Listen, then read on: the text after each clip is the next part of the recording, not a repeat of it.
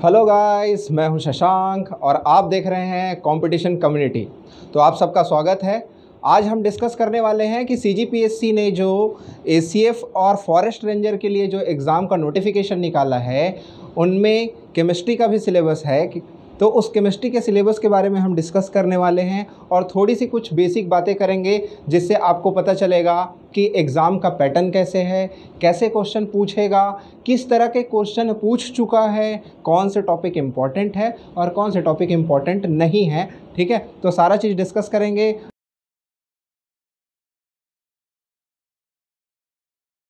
आपको स्क्रीन पे दिख ही रहा होगा कि हमने यहाँ पर नोटिफिकेशन दिखा दिया है। अब हम थोड़ा सा डिस्कस कर लेते हैं इसके सिलेबस के बारे में। तो सिलेबस आपको पता ही होगा, इसमें दो चार बातें कर लेते हैं जो कि महत्वपूर्ण हैं आपके एग्ज़ाम के दृष्टि से। और उसके बाद हम और कुछ बातें करेंगे कि क्वेश्चन कैसे पूछते हैं, किस टाइप के क्वेश्चन आएगा, सारी बातें करेंगे हम लोग। तो देखिए सिलेबस ऑफ़ केमिस्ट्री यहाँ पे लिखा हुआ है। यहाँ पे फ़र्स्ट टॉपिक इसने दे रखा है केमिकल इक्विलिब्रियम तो इस केमिकल इक्विलिब्रियम के भी पोर्शन है। तो इसको याद रखिएगा कि ओवरऑल पूरा का पूरा केमिकल इक्विलिब्रियम से इसने क्वेश्चन पूछा है। ठीक है? तो केमिकल इक्विलिब्रियम में दो टाइप के केमिकल इक्विलिब्रियम है। एक केमिकल इक्विलिब्रियम कहलाता है और दूसरा आपका कहलाता है ionic equilibrium ionic ionic equilibrium ठीक है? आयोनिक इक्विलिब्रियम कहलाता। है अगर आपको केमिकल इक्विलिब्रियम आता है तो आपको क्या देखना पड़ेगा? केमिकल काइनेटिक्स है ना? सेकेंड सिलेबस ये दिया हुआ है, ये भी बहुत महत्वपूर्ण है, क्योंकि इसमें भी अच्छे अच्छे क्वेश्चन आपको पूछे जाते हैं, ठीक है? उसके बाद आपको देखते हैं कि ये एस ब्लॉक ठीक है? एस ब्लॉक में एस ब्लॉक मतलब इसके कहने का मतलब है कि यहाँ पे टेंथ क्लास का कुछ पोर्शन है। टेंथ क्लास का जो साइंस है ना साइंस का पोर्शन और थोड़ा सा ट्वेल्थ का, ठीक है? थोड़ा सा ट्वेल्थ का जो पोर्शन होता है, वहाँ से क्वेश्चन पूछे जाते हैं। क्वेश्चन का जो तरीका होता है पूछने का, बहुत ही बेसिक तरीका है इसमें, ठीक है? कोई बड़ा चीज़ नहीं है। यहाँ पे देखिए पॉलीमर पॉलीमर दिख रहा है आपको। पॉलीमर ऑल थियोरिटिकल ठीक है? पहले वाले की मैं बात करूँ, पहले और दूसरे वाले की बात करूँ तो पूरा का पूरा प्योर कंसेप्ट है। इस कंसेप्ट को मैं आपको पूरा अच्छे से बताऊँगा। सारी बातें अपन डिटेल में करेंगे और आपसे क्वेश्चन बनेगा। मैं प्रीवियस ईयर के क्वेश्चन भी आपको यहीं पे कराऊँगा ताकि आपको और कोई भी चीज़ रेफ़र करने की ज़रूरत ना पड़े। तो देखिए कि ये पॉलीमर है पॉली पॉलीमर और एस ब्लॉक दोनों को दोनों थ्योरिटिकल है है ना? और उस थ्योरिटिकल में भी किस पॉइंट पर आपको फोकस करना है, कहाँ से ज़्यादा क्वेश्चन पूछा जाता है, सारा चीज़ मैं यहाँ पर डिस्कस करूँगा, आपको टेंशन लेने की ज़रूरत नहीं है। तो देखिए यहाँ पे मेटलर्जी वाला पोर्शन है। ये थोड़ा सा ना समझने वाला पोर्शन है कि जितना मैं बताऊँगा that is more than enough है ना? तो आप याद रखिए। और प्लीज़ नोट्स बनाते चलिएगा ताकि आपको आगे भी कोई दिक्कत ना आए। उसके बाद इसका तो नॉलेज सबको होना चाहिए यार। पीरियडिक टेबल है ना? पीरियडिक टेबल का, मैं पूरा का पूरा पीरियडिक टेबल आपको यहाँ पे लर्न करवा दूँगा और आपको पूरा याद भी हो जाएगा कहाँ पे कौन सा मेटल होता है। हाँ कहाँ पे कौन सा मेटल होता है इससे समझ में आया कि यहाँ एक क्वेश्चन पूछ दिया था कि आपका सिक्सटीनथ ग्रुप एलिमेंट जो होता है सिक्सटीनथ ग्रुप एलिमेंट को क्या बोला जाता है? जैसे सेवनटीन ग्रुप जो एलिमेंट होता है, उसको हेलोजन के नाम से जाना जाता है, ठीक है? और सेवन सिक्सटीन ग्रुप एलिमेंट को किस नाम से जाना जाता है करके? तो बेसिक सा क्वेश्चन है। इसको बोला जाता है चैल्कोजेंस क्या बोलते हैं? चैल्कोजेंस ठीक है? अब देखिए कि ये यहाँ पे पीरियड टेबल में क्वेश्चन कैसे पूछते हैं? पीरियड टेबल में आपको कोई भी एक एलिमेंट दे दिया जाएगा। ठीक है? और पूछेगा, जैसे एक एलिमेंट दिया था इसने। क्या एलिमेंट दिया था? आपका पोटेशियम दे रखा था। पोटेशियम को पूछा था कि कौन से पीरियड में आता है और कौन से ग्रुप में आता है। तो ऑब्वियस सी बात है सब जानते हैं पोटेशियम का आ, क्या बोलते हैं पोजीशन क्या होता है। वो सारी चीज़ें मैं आपको पूरा डिस्कस करवाऊँगा आपको टेंशन लेने की ज़रूरत नहीं है ठीक है? अब देखिए ये भी एक मोस्ट इंपॉर्टेंट पार्ट्स में से एक है आपका जीओसी ठीक है? GOC that means general organic chemistry ये जो जनरल ऑर्गेनिक केमिस्ट्री है ये आ, बहुत महत्वपूर्ण है एग्ज़ाम की दृष्टि से अगर देखा जाए तो ठीक है?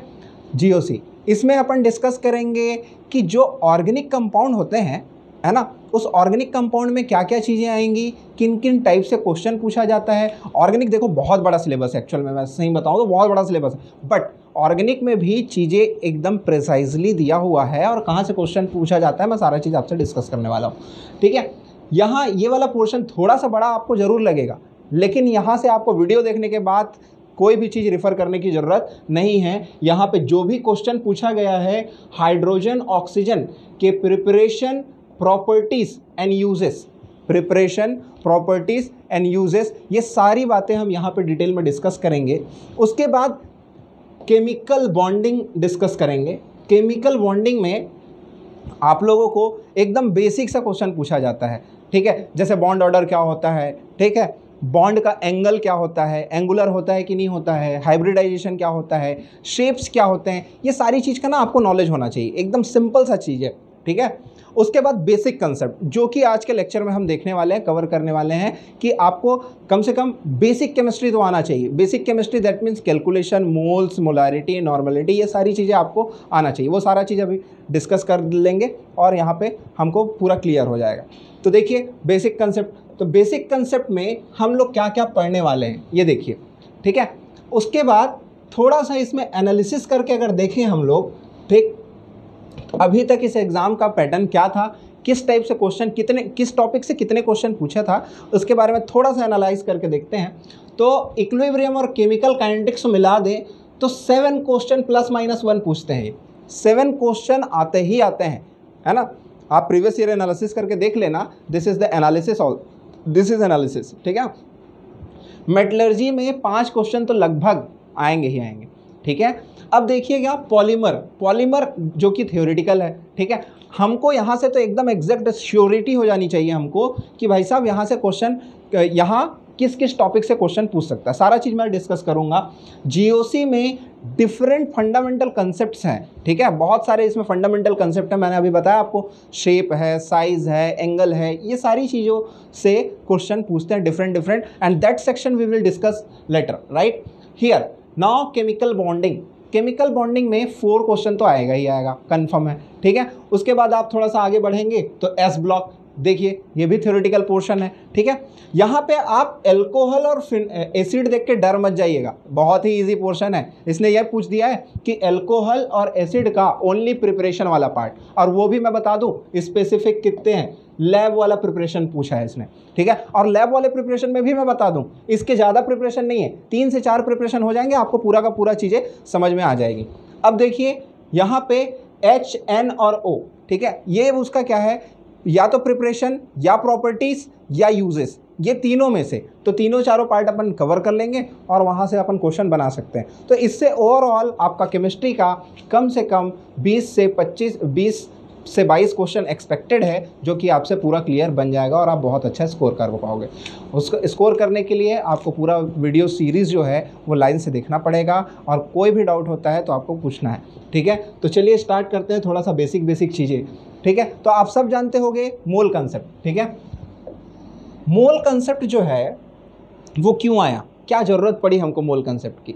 तो मोल कंसेप्ट जो है बेसिकली अगर देखा जाए तो जैसे आप डे टू डे लाइफ में देखते हैं क्या देखेंगे कि आप आपको डिस्टेंस मेज़र करना है। तो डिस्टेंस मेज़र करने के लिए आपको क्या करना पड़ेगा? आप किलोमीटर लोगे, मीटर लोगे या सेंटीमीटर लोगे, ठीक है? अगर आपको वेट मेज़र करना है वेट मेज़र करने के लिए आप क्या लोगे? आप वेट मेज़र करने के लिए के लोगे या फिर ग्राम लोगे, ये सारी चीज़ लोगे, ठीक है? लेकिन दिक्कत यहाँ आ गई कि एटम जो होता है वो तो बहुत टाइनी होता है। आप किसी को बोल सकते हो क्या मेरे को एक किलो एटम दे दो। नहीं, ऐसा नहीं हो सकता है, ठीक है? क्योंकि वो टाइनी है। मतलब उसको बहुत प्रिसाइज क्वांटिटी चाहिए उसको मेज़र करने के लिए। That's why we have mole ठीक है? तो मोल जो कंसेप्ट है, ये बेसिकली किसके बारे में बात करता है? It is it is measurable quantity measurable quantity quantity of atoms and molecules ऐसा बोल सकते हो आप। It is measurable quantities of atoms and molecule अब यहाँ पे देखिए, ये क्या बोल रहा है? नंबर ऑफ़ एंटिटीज़ क्या बोल रहा है ये? नंबर ऑफ़ एंटिटीज़ तो भाई साहब, आप ना नंबर ऑफ़ एंटिटीज़ को बहुत ध्यान से पढ़िए। नंबर ऑफ़ एंटिटीज़ का मतलब क्या होता है? क्योंकि ये वाला वर्ड अपन आगे भी यूज़ करेंगे। ठीक है? तो देखिए atoms molecules and particles atoms entities के अंदर क्या आएँगी? एटम्स आएगा मॉलिक्यूल्स आएगा पार्टिकल्स आएगा, और कुछ भी। कुछ भी का मतलब एनीथिंग एनीथिंग कुछ भी आ सकता है।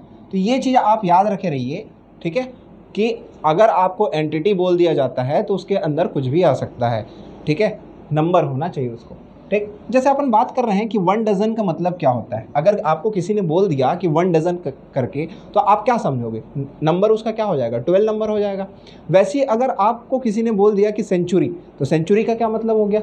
हंड्रेड ठीक है।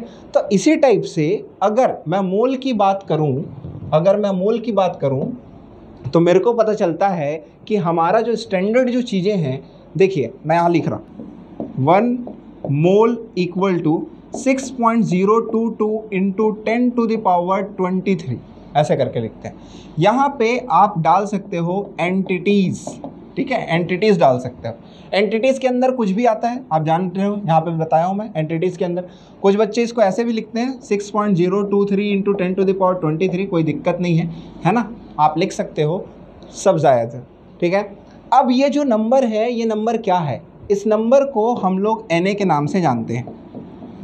एन ए दैट मीन्स होता है एवेगेड्रो नंबर एवेगेड्रोस ठीक है?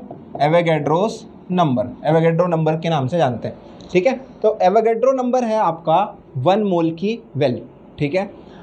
एक छोटी सी बात और कर लेते हैं। अगर मेरे को किसी चीज़ का मोल मेज़र करना है तो मोल किसे denoted by denoted by small n small n से मोल को डेनोट किया जाता है। अब यहाँ पे देखिए कि अगर ये स्मॉल एन से इसको डेनोट कर रहे हैं तो एन इक्वल टू क्या लिख सकते हैं भाई साहब हम? Given mass upon molecular mass तो यहाँ पे आप लिख लीजिएगा जी एम एम एम आपको अगर समझ में नहीं आए तो यहाँ पे लिख लीजिएगा given mass upon molecular molecular mass ठीक है? हिंदी में मैं बोलूँ तो क्या हो जाएगा? पदार्थ की दी हुई मात्रा, पदार्थ की दी हुई मात्रा और पदार्थ का द्रव्यमान। ठीक है? ठीक है? तो यहाँ पे क्या लिख सकते हो आप हिंदी में? पदार्थ की दी हुई मात्रा, दी हुई मात्रा और यह है आपका द्रव्यमान। किसका द्रव्यमान? मैं पूरा नहीं लिख रहा हूँ। पदार्थ का जो दिया हुआ जो पदार्थ है, उसका द्रव्यमान तो निकाल सकते हो आप। द्रव्यमान मतलब उसका molecular mass if molecule is given then you have to calculate the molecular mass if atom is given then you have to calculate the atomic mass ठीक है? तो यहाँ तक तो समझ में आ गया होगा। तो हमको क्या मिला? N equal to given mass upon molecular mass अब कुछ चीज़ें देख लेते हैं, जिससे हमको पता चलेगा कि नंबर ऑफ़ मोल्स कैसे कैलकुलेट किया जाता है, कौन कौन चीज़ें हैं जिससे नंबर ऑफ़ मोल्स कैलकुलेट कर सकते हैं। यहाँ से तो आपको बेसिक चीज़ें समझ में आ गई होगी।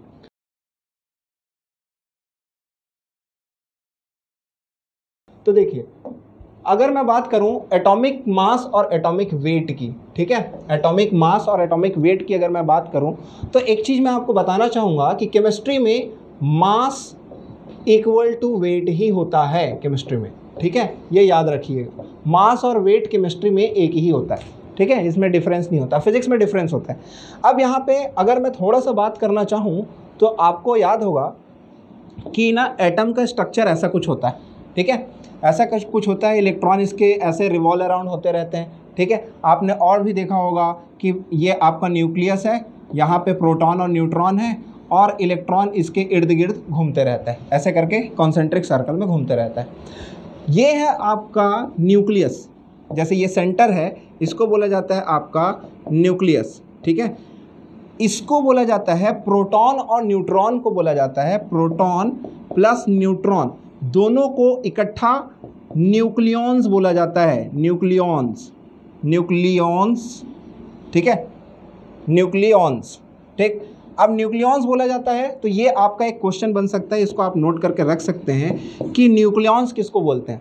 तो प्रोटॉन और न्यूट्रॉन को न्यूक्लियॉन्स बोलते हैं। याद रखिए, इलेक्ट्रॉन इज़ यहाँ पे लिख देता हूँ मैं, electron is not included included in nucleons nucleons ठीक है? तो ये नोट वाला पॉइंट है थोड़ा सा याद रखिए आप नोट कर लीजिए। ठीक?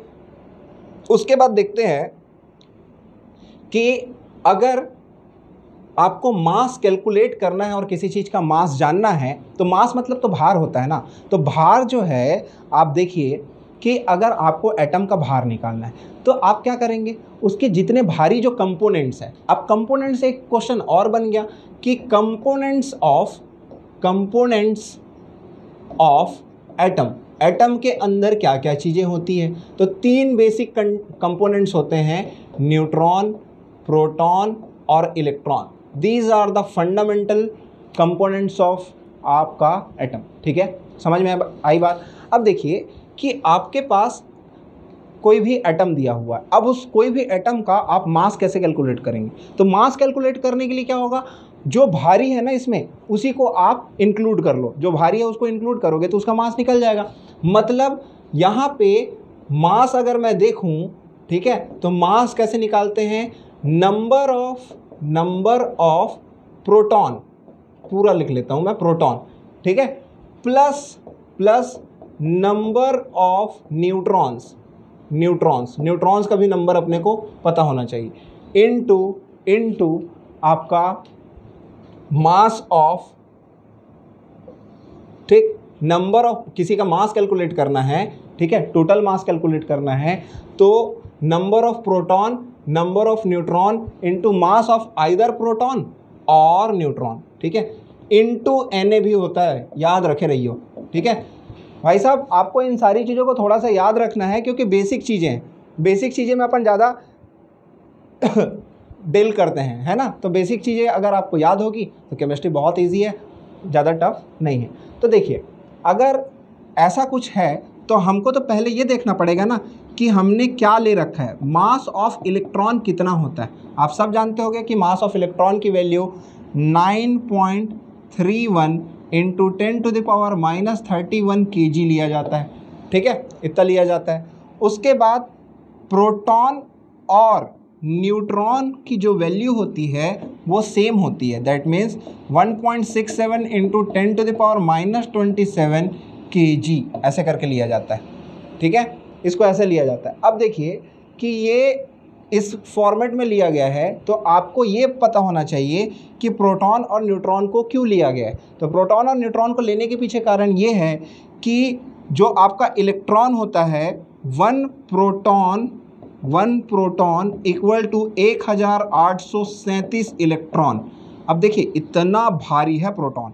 मतलब आप एक हज़ार आठ सौ सैंतीस इलेक्ट्रॉनों को मिलाओगे, तब जाके वो वन प्रोटॉन बनता है। इसीलिए उसके प्रोटॉन के आगे उसकी कोई वैल्यू नहीं है। दैट्स वाई मास निकालने के लिए हम लोग क्या लेते हैं? आपका इलेक्ट्रॉन प्रोटॉन का मास लेते हैं। समझ में आई बात? एन तो आपको पता है मास भी मैंने आपको बता दिया।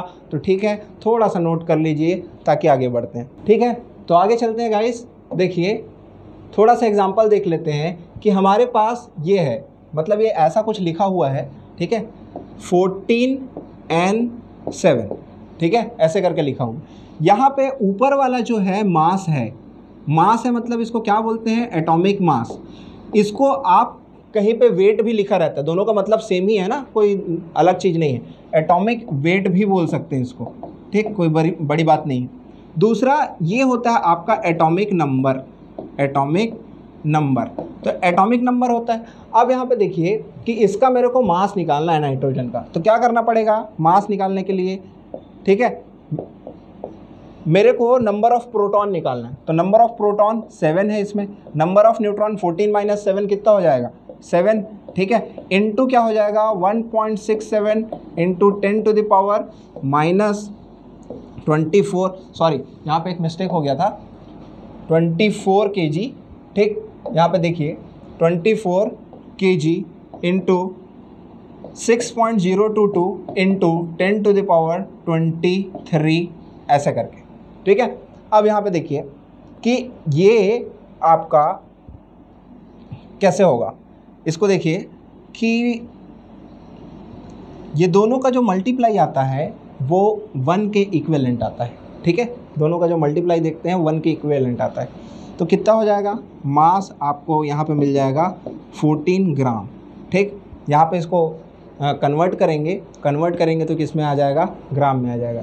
ये ग्राम है, वो केजी था। ठीक है? ठीक है? वो वाला के था वाला सही था। देखिए, अब यहाँ पे इसका देखते हैं।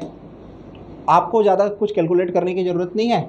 ये एच टू ओ है, इसका देख लिए टू है, इसका देख लिए सिक्सटीन है तो कितना हो जाएगा टोटल एटीन ग्राम ठीक है? ऐसे करके आप कैलकुलेट कर सकते हो, कोई बड़ी चीज़ नहीं है ये। ठीक है? यहाँ पे जी एम का मतलब होता है gram atomic mass gram atomic mass ऐसे करके मतलब होता है। ठीक है? वही चीज़ लिखा हुआ है number of proton plus number of neutron into mass of proton और ये NA ठीक है? NA भी होता है यहाँ पे।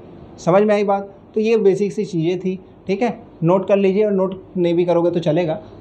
कोई बड़ी चीज़ नहीं है। उसके बाद देखेंगे अपन मोल्स कैसे निकालेंगे। ठीक है? मोल्स के बारे में अपन डिस्कस किए थे।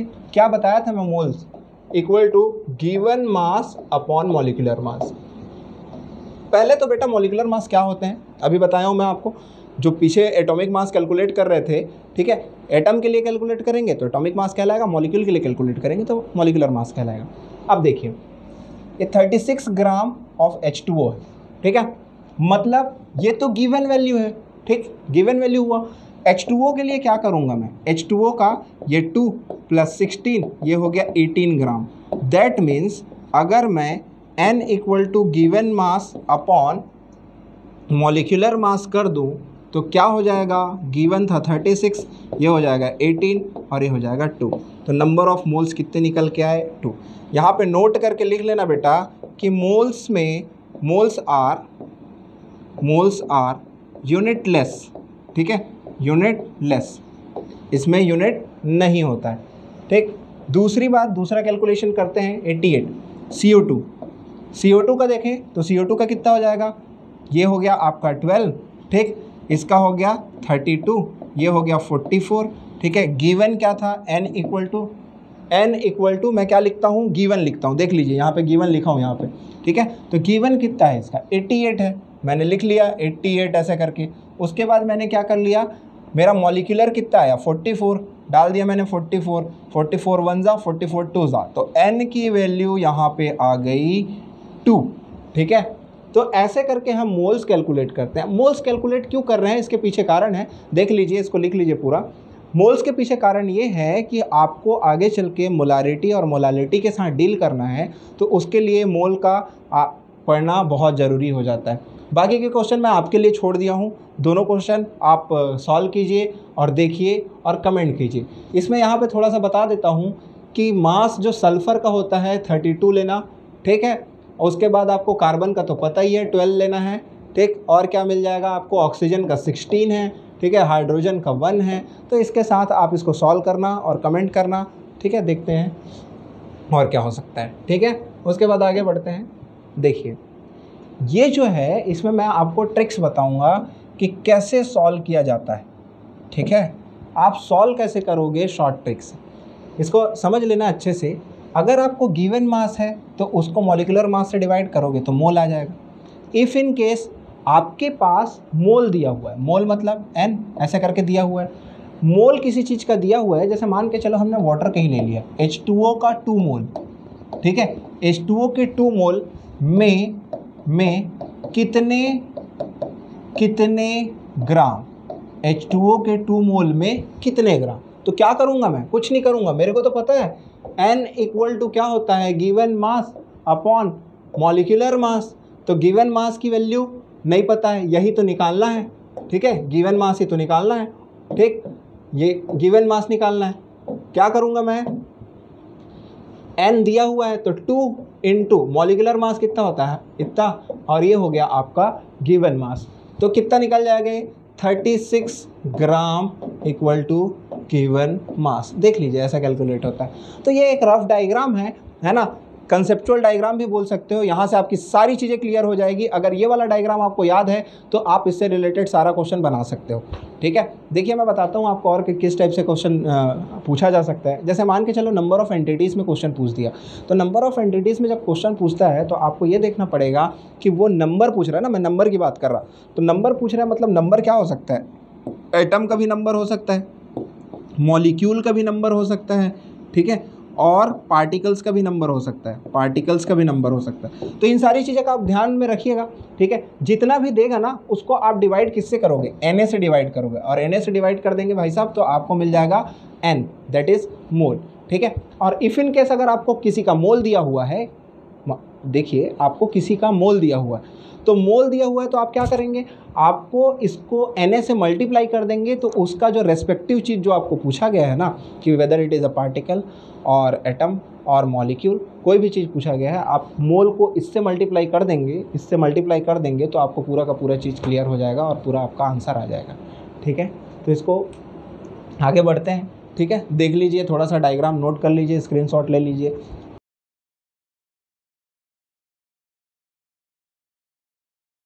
आगे देखिए कि अगर फाइंड आउट द मॉलिक्यूल्स वही वाला क्वेश्चन दे रखा है, ठीक है? तो इनमें से एक क्वेश्चन मैं सॉल्व कर दिया हूँ, ये वाला क्वेश्चन मैं सॉल्व कर दिया हूँ, ठीक? आपको, आपके लिए मैं कुछ छोड़ जाऊँगा, ठीक है? ये वाला क्वेश्चन आप सॉल्व करना सेम क्वेश्चन है, जैसा मैंने वाटर के लिए सॉल्व किया था सेम क्वेश्चन है। यहाँ पे देखिए 18 ग्राम दिया है, यहाँ पे मोल नहीं दिया मोल नहीं दिया मतलब क्या करना पड़ेगा? पहले आपको मोल कैलकुलेट करना पड़ेगा, उसके बाद उसका मॉलिक्यूल निकालना पड़ेगा। तो ये सारी चीज़ मैं आपको बता दे रहा हूँ given mass upon molecular mass equal to n होता है तो इसका अगर 18 ग्राम दिया हुआ है 18 ग्राम दिया हुआ है, ये दिया हुआ है ना? दिया हुआ, ठीक? दिया हुआ है, ठीक है? और इसका द्रव्यमान क्या होगा? दिया हुआ अपॉन क्या था? द्रव्यमान, ठीक है?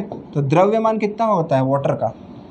H two O H two O मतलब दो सिक्स सिक्सटीन कितना हो जाएगा? 18 तो यहाँ पे 18 लिख दोगे तो n का वैल्यू आ जाएगा। देखिए, n का वैल्यू आया वन।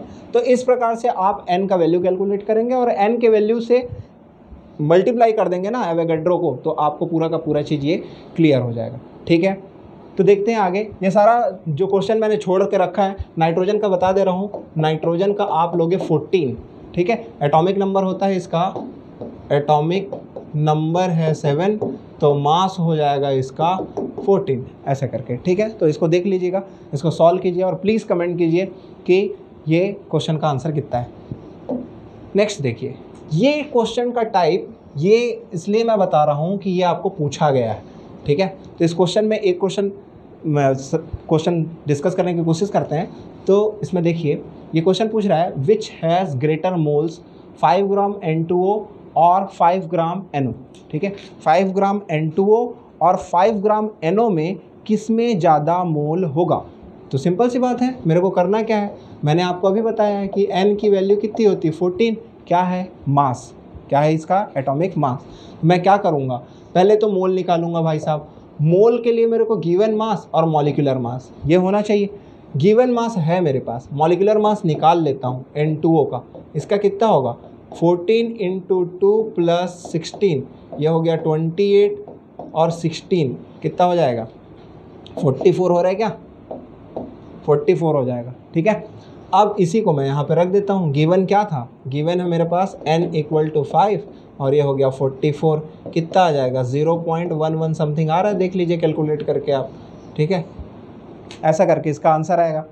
इसमें देखिए, जो सेकंड वाला पोर्शन है इसका, अब ये ज़ीरो पॉइंट वन वन आ रहा है। सेकंड वाला पोर्शन ये, इसमें फाइव ग्राम तो n equal to five gram और एन एन ओ यहाँ पर निकाल के देख लेते हैं। एन का हो गया फोर्टीन प्लस इसका हो गया सिक्सटीन दोनों को मिला दूँगा इक्वल कर दूँगा तो हो जाएगा ये थर्टी ठीक है? दिखा?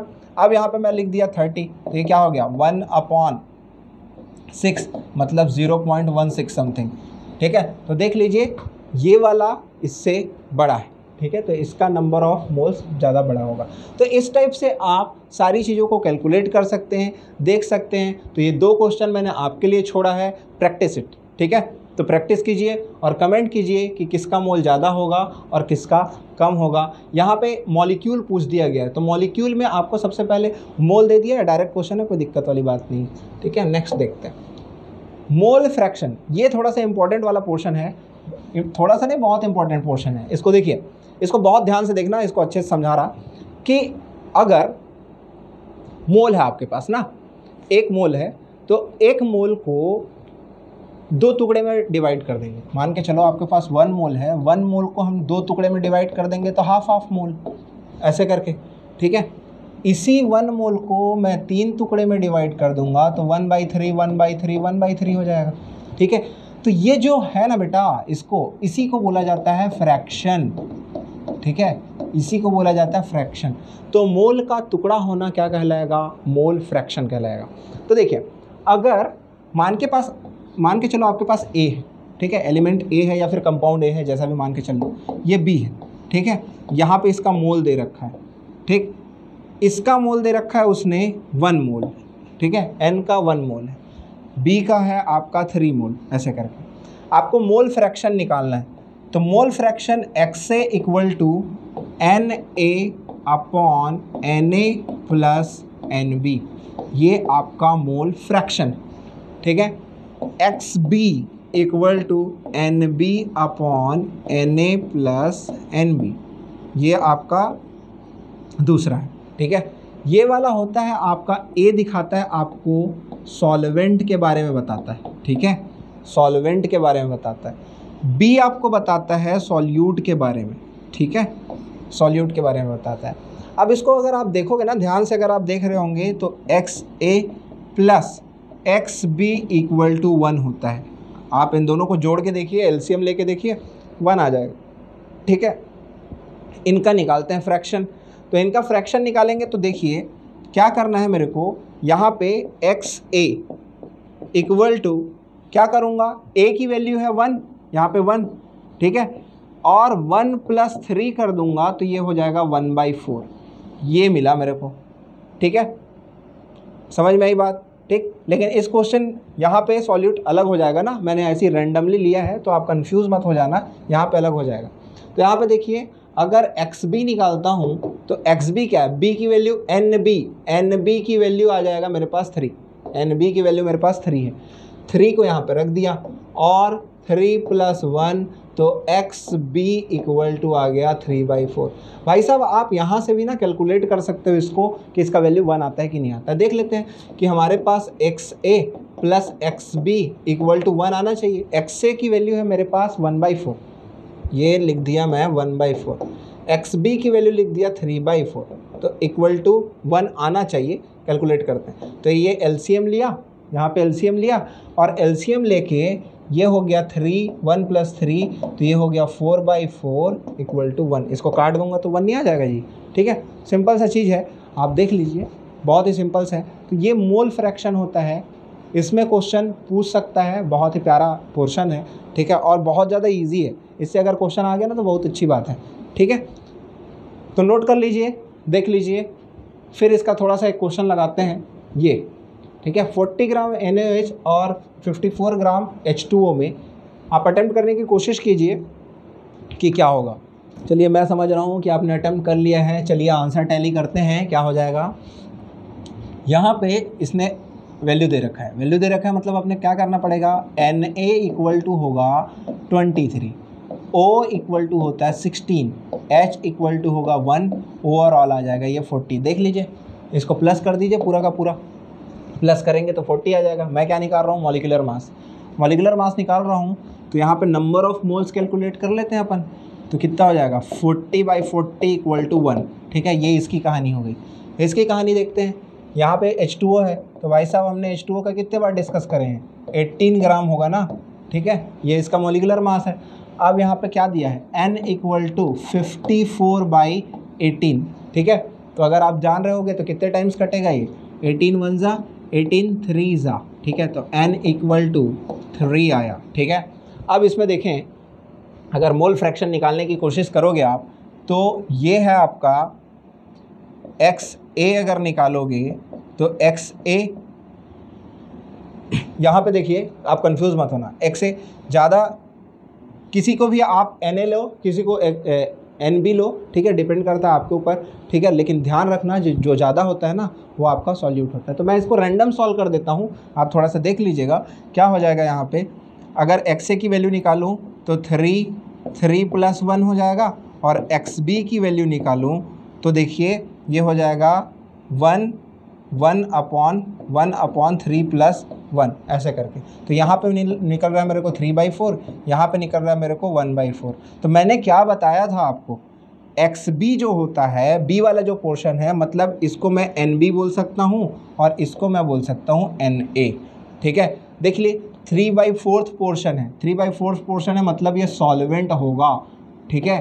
और ये वाला वन बाई फोर्थ पोर्शन है मतलब ये होगा आपका सॉल्यूट तो ध्यान रखिए, ऐसा करके क्वेश्चन सॉल्व किया जाता है, ठीक? और ये बोल रहा है find out the mole fraction हमने मोल फ्रैक्शन निकाल के रख दिया। तो ऐसा बेसिक सा क्वेश्चन आपको पूछा जा सकता है कि मोल फ्रैक्शन कैसा निकालते हैं, कैसे कैलकुलेट करते हैं, और ऐसे करके थोड़ा सा फंसाया जा सकता है। तो देखिए, यहाँ पे अगर अपन आगे बढ़ेंगे तो हमको मिलेगा मोलारिटी ठीक है? ये नया चीज़ है। इसके लिए प्रिपेयर हो जाइए। ठीक? नया चीज़ नहीं है। अगर आपने मोल कंसेप्ट पढ़ा है तो। ठीक है? सिंपल सी बात है। तो देखिए मोलारिटी मतलब होता है, यहाँ पे डेफिनेशन लिखा हुआ है बड़ा प्यार से number of moles of solid which are present in one litre of solution ठीक है? एक लीटर सॉल्यूशन में कितने मोल्स ऑफ़ सॉल्यूट उपस्थित होंगे, वही उसकी मोलारिटी देगा। मतलब ये बेसिकली अगर बात कर रहा है ना तो कॉन्सेंट्रेशन ऑफ़ द सॉल्यूशन पे बात कर रहा है। कि सॉल्यूशन कितना कॉन्सेंट्रेटेड है, उसके ऊपर बात कर रहा है। तो देखिए क्या होगा। यहाँ पे मोलारिटी को दिखाया जाता है एम से कैपिटल एम से। तो M equal to number of moles and volume per litre ऐसे करके इसका फॉर्मूला बन रहा है।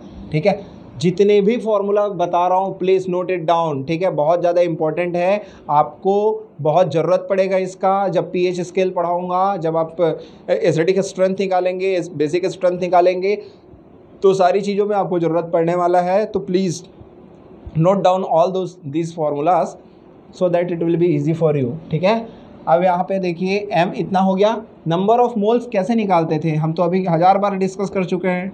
Given mass upon molecular mass और ये वॉल्यूम है आपका लीटर में। तो ऐसा थोड़ी ना हो सकता है यार कि हमेशा आपको वॉल्यूम लीटर में ही देगा, ठीक है? एम में भी दे सकता है। जब एम में देगा, तब ये फॉर्मूला कैसे चेंज हो जाएगा?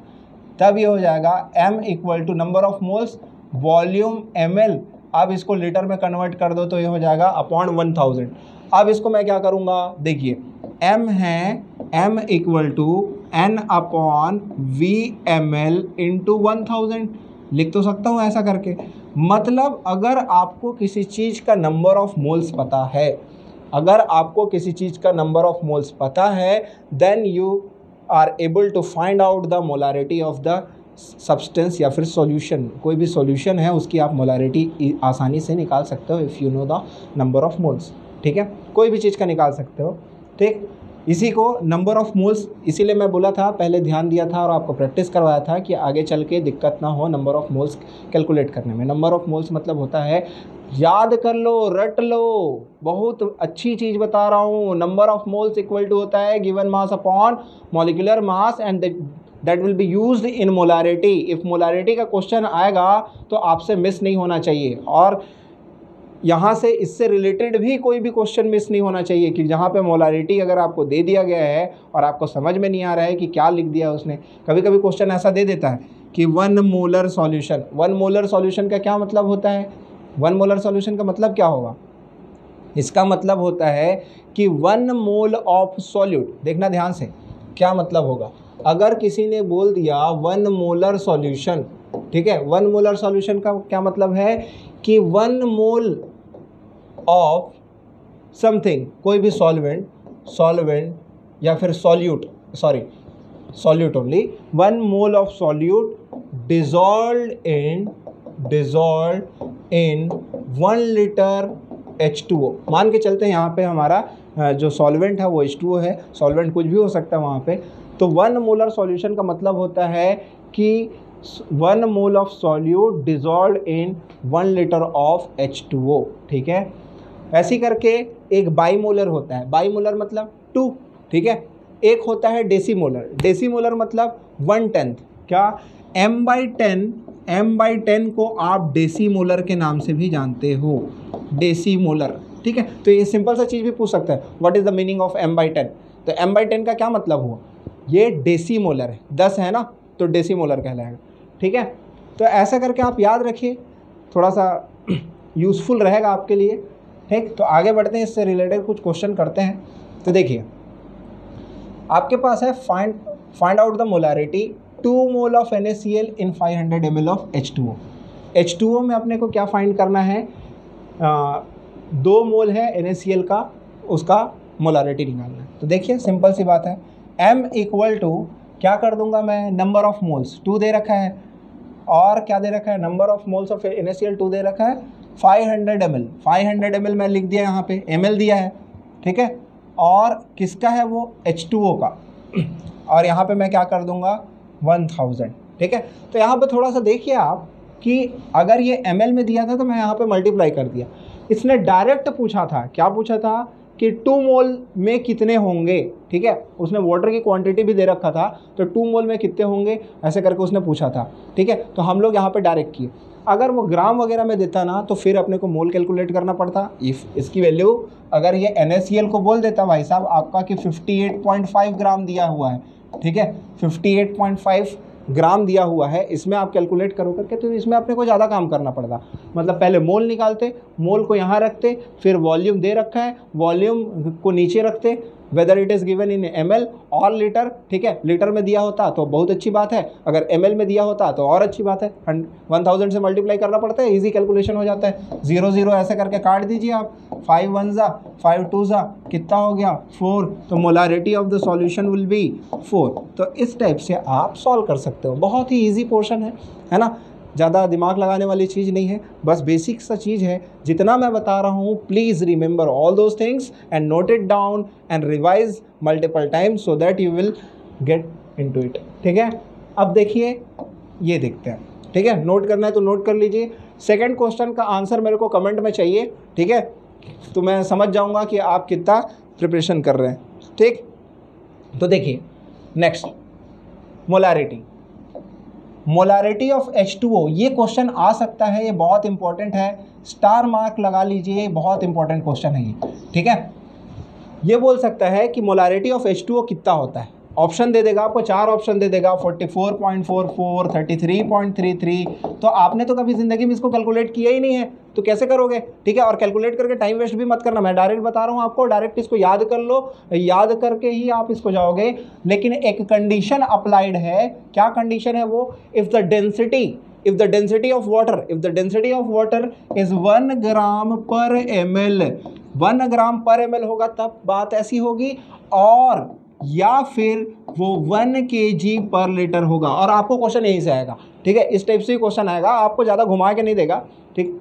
कैसे घुमा के नहीं देगा? मान के चलो, अगर इसकी डेंसिटी चेंज कर दिया 0.98 ग्राम पर एमएल कर दिया 0.98 ग्राम पर एमएल कर दिया इसकी डेंसिटी तब आपको दिक्कत आ जाएगी। क्या दिक्कत आ जाएगी? तब आपका मोलारिटी इतना नहीं रहेगा। 55.55 नहीं रहेगा। इससे कम हो जाएगा। ठीक है? तो आपको इतना ध्यान देने वाली बात नहीं है। आप इतना टेंशन मत लो, आपको नहीं पूछेगा। आप बस इतना याद रख लो, ठीक है? आपका भला हो जाएगा, ठीक है? 55.55 मोलारिटी होता है।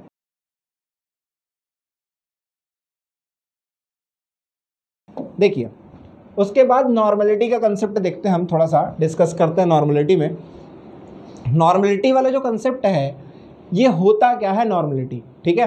तो नॉर्मलिटी आपको आने वाले इक्विलिब्रियम टॉपिक में ज़रूरत पड़ेगा क्वेश्चन सॉल्व करते हैं। तो आपके पास क्या होना चाहिए कि आप पीएच जब कैलकुलेट करते हो तो वहाँ पीएच कैलकुलेट करने के लिए आपको बोल देगा कि 0.1 नॉर्मल सॉल्यूशन ठीक है? Two normal solution three normal solution तो आपको पता होना चाहिए कि उस नॉर्मल की वैल्यू क्या है। Normality is nothing but normal is nothing but normality तो नॉर्मलिटी ऑफ़ द सॉल्यूशन आपको पता होना चाहिए। तो नॉर्मलिटी ऑफ़ द सॉल्यूशन देखो, पाँच मिनट में आपको सिखा दे रहा हूँ, बहुत ही छोटी चीज़ है, ठीक है? देखिए number of gram equivalent of solute number of gram equivalent of solute which are present in one litre of water which are present in one litre of water इसको आप ध्यान से देखोगे तो कुछ नहीं है ये। डेनोटेड बाई एन ठीक है? This is also concentration term इसको याद रखे रहिएगा। सांद्रता वाली जो टर्म होती है, वही है ये, ठीक है? तो सांद्रता है, इस सांद्रता में देखिए कि आप एन एन मतलब नॉर्मेलिटी हो गया, ठीक? अब ये क्या बोला है? ग्राम इक्विवेलेंट ग्राम इक्विवेलेंट ठीक है? किसका? सॉल्यूट का, किसका? सॉल्यूट का अपॉन वन लीटर सॉल्यूशन किसी भी वन लीटर सॉल्यूशन में ग्राम इक्विवेलेंट ऑफ़ सॉल्यूट से डिवाइड कर दोगे तो उसकी नॉर्मेलिटी निकल आएगी and that normality is part of concentration ठीक है? तो देखिए, यहाँ पे अगर मैं बात करूँ तो पहले जब मैं बात किया था N equal to given mass upon molecular mass ये तो ईजी था। फिर इसके बाद मैं बात किया था मोलारिटी की M equal to number of mole sorry number of moles and volume per litre ये भी बहुत ईजी थी, क्योंकि सर आपने पहले ये बता दिया था तो हमारे लिए बहुत आसान हो गया, ठीक है? अब दिक्कत आएगी बेटा आपको कहाँ पे कि ग्राम इक्विवेलेंट किसको बोला जाता है? ये सबसे बड़ा सिरदर्द क्रिएट करने वाला आपके लिए, जो कि आज के क्लास के बाद कोई सिरदर्द क्रिएट नहीं होगा, पूरा का पूरा आप सॉल्व कर लो, चाहे कहीं से क्वेश्चन उठा लो, आपसे नॉर्मलिटी का क्वेश्चन सॉल्व हो जाना है, मैं दिखा दे रहा हूँ आपको, ठीक है? लेकिन बात है कि आप थोड़ा सा प्रैक्टिस करिएगा, ठीक? दिखा रहा हूँ कि कैसे सॉल्व किया जाता है। What is the meaning of a gram equivalent ठीक है? इक्विवेलेंट मास और वेट इसको दो नाम से जाना जाता है। कभी कोई बोल दे कि इक्विवेलेंट वेट इक्विवेलेंट मास अगर कोई बोल दे तो घबराना नहीं। दोनों एक ही है equivalent weight and equivalent mass ठीक है? पहले आएगा उसका मॉलिकुलर मास कोई भी सब्सटेंस का। ठीक है? Divided by X and that X is what your valence factor अब ये और दिक्कत क्रिएट कर दिया आप। पहले तो बताए थे कि यही निकालेंगे, अब वैलेंस फैक्टर क्या है भाई साहब? तो कुछ नहीं है। वैलेंस फैक्टर एसिड और बेस के लिए अलग अलग होता है। एसिड के लिए अलग और बेस के लिए अलग। ये भी एक मेजरेबल क्वांटिटी है कि अगर इसमें H plus ions number of H plus ions जितने दिखेंगे number of H plus ion और यहाँ पे number of O H minus ion जितने दिखेंगे, किसी किसी भी कंपाउंड का डिसोसिएट होने के बाद, याद रखिएगा, किसी भी कंपाउंड का डिसोसिएट होने के बाद जितने number of H plus ion दिखेंगे एंड जितने number of O H minus ion दिखेंगे that will be a balance factor अब बैलेंस फैक्टर कैसे डिसाइड करेंगे और कैसे अपन इक्विवेलेंट मास किसी चीज़ का कैलकुलेट करेंगे? तो देखिए, पहले बात करते हैं हम लोग एसिड का। तो एसिड का बात करेंगे तो क्या हो जाएगा? हमारे पास पहला दिया हुआ है H2SO4 अब दुनिया जानती है कि ये एसिड है, ठीक है? हम जानते हैं कि ये एसिड है, लेकिन इसका इक्विवेलेंट मास कैसे निकालेंगे? अगर सिंपल मास निकालना होता तो भाई साहब बहुत ईजी था। H two H two S O four है ना? तो H two S O four में क्या करेंगे? मैंने आपको बताया एच का थर्टी टू होता है, इसका टू हो जाएगा और इसका कितना हो जाएगा? फोर इंटू सिक्सटीन है ना? तो इसका हो जाएगा सिक्सटी फोर सिक्सटी फोर और ये हो गया तुम्हारा थर्टी फोर कितना हो जाएगा? टोटल नाइन्टी एट ये तो ईजी था, ठीक है? नाइन्टी एट हो गया, इसका क्या है? क्या निकाला हूँ मैं?